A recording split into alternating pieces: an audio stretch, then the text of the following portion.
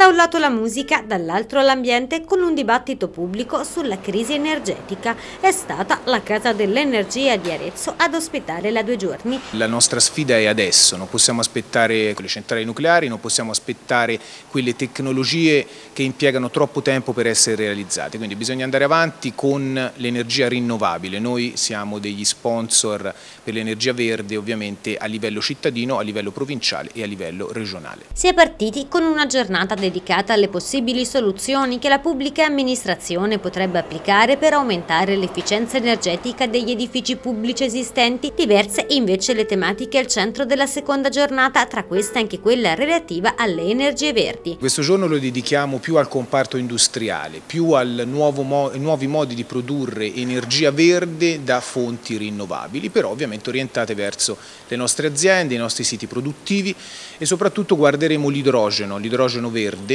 che in qualche modo dovrebbe rappresentare il futuro e cercare di eh, in qualche modo riempire il fabbisogno di gas che noi in questo momento diciamo, abbiamo una grande penuria.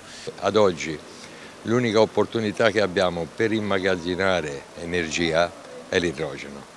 L'elettrico sta prendendo campo ma ancora molte difficoltà negli accumulatori, l'unico accumulatore di energia che possiamo utilizzare è l'idrogeno. Lì si apre un mondo che apre spazio alla fantasia, ai progetti, alle idee. Noi ne abbiamo, stiamo cercando di metterle in campo da una parte insieme al comune su San Zeno e di contro anche presso la sede della Coingas dove si vuole portare avanti progetti importanti in collaborazione con gli enti di ricerca per iniziare a fare attività sperimentali sul campo.